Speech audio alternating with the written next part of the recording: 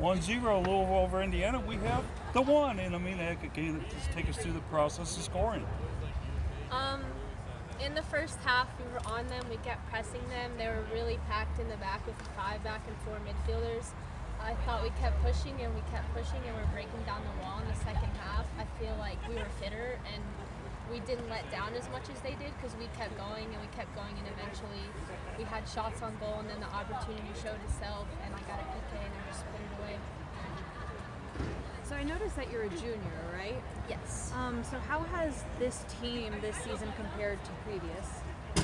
Um, I want to say we've grown a lot. We've our offensive side of the ball has grown a lot from my freshman year. It was more our defense won games, but now we control games with the offensive side of the ball. We're not constantly playing defense when we do. I feel like that's our strongest aspect, but we can move the, wall, the ball well to the midfield, swing it out wide, swing it back around the back. Like we have a lot of options.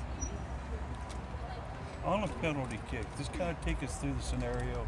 You're staring down the goalkeeper, she's staring back at you. What's going through your mind?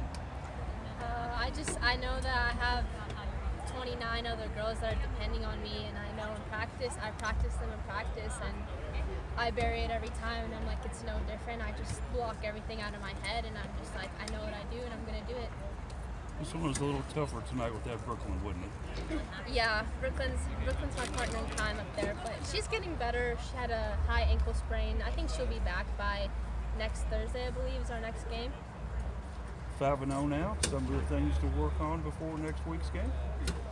Um, a lot of resting up, but um, yeah, just kind of figuring out where we need to go from here on our offensive side of the ball, finding the half zones, the pockets for me to open up, finding different options when they close them down, which they did today, going behind the back, making runs through.